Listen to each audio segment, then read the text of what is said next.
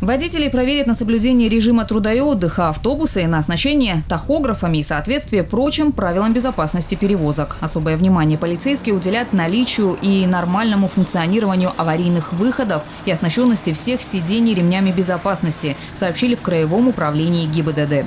Проверят автобусы и на наличие незаконных изменений в конструкции. Чаще всего это перестановка сидений, изменение их количества, превращение мест для пассажиров в грузовые отсеки. Также инспекторы проконтролируют контролируют, прошли ли водители медосмотр перед выходом в рейс.